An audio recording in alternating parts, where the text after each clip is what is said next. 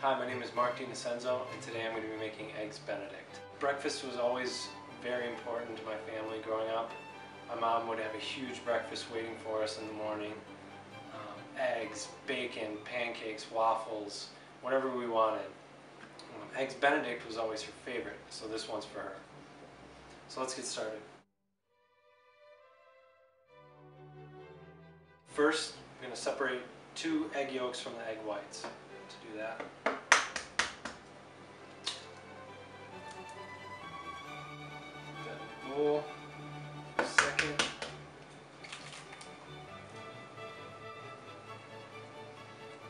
you can save. I'm going to wash my hands now. So now we have our egg yolks. This is part of a mise en place, which means getting everything all together. It means everything in the right place, literally. Um, so I got my egg yolks here, I got some water, a whisk, and a bowl. Um, first we'll start whisking this just to break it up. Notice how thick it is. So I want to add a little water just to thin it out. Now it's a little runnier. So here we're going to cook the egg yolks over the double boiler. I also have some butter melting here. This is whole butter. That's why it's kind of foamy on the top. That's the milk solids that's separated, but it's fine. Normally you'd use clarified butter, but this works just as well. There's water in this pot. It's on a light simmer. Um, you don't want it too hot or the eggs, egg yolks will curdle. Get started here. Just constantly whisking, trying to cook these yolks. If it starts getting too hot, you just take it off, stir it a little bit. Back on. It's hard to tell someone how long to do this. You kind of just have to get the feel for it. So see, it's a little thicker, a little lighter. So I'm going to take this off the heat, bring it over. So here we've taken it off the heat. You don't want it on the heat when you're adding the butter because the butter will separate. Well. Here is our butter. It's about eight ounces uh, melted. So you're just going to start slowly whisking it in. You want to go real slow because you don't want to break it. Just add a little at a time. Keep stirring. You'll notice it getting thicker. Let's see where it's at right now. Getting a lot thicker. Just gotta keep going until all the butter's gone. And start pouring faster you have the emulsion here.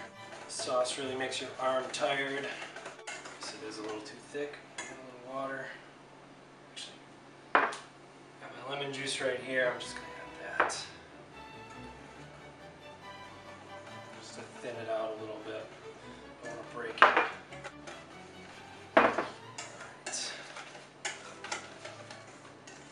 So there you have that thick emulsion of egg yolks and butter. So I'm going to season it, some cayenne pepper and a little salt. Some salt. I'll be stingy with the salt. A little dash of cayenne, not much. Just kind of want it to be a background flavor.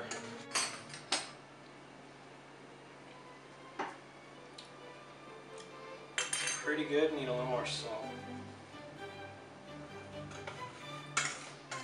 Lemon's good. Just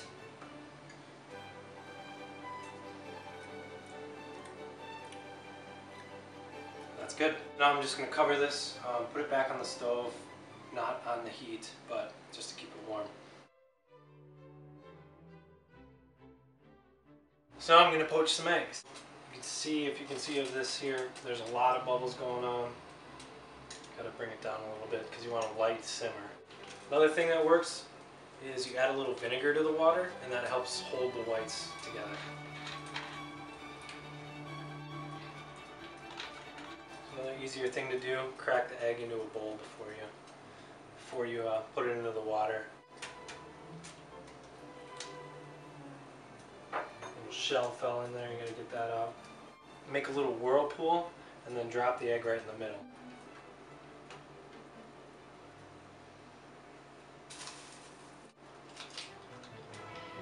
Drop the second one in. I like to cook these for about five minutes because I don't like runny whites. This is kind of similar of how you would cook a soft-boiled egg, but this is just not in the shell. There's one that's done. They look like when they're done.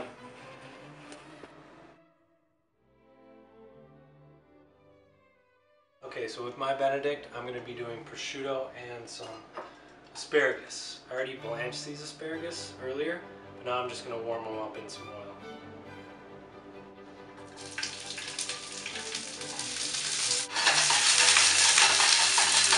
And the blanching before keeps them really nice and green like this, so they look really good. They're just starting to blister. That's good. Two toasted English muffins here. Prosciutto, layer that on. And a couple stalks of asparagus. Poached eggs. We have our hollandaise here.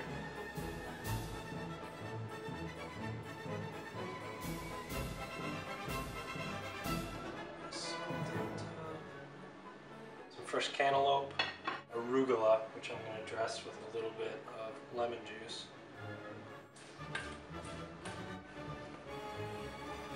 So there you have it. Eggs Benedict.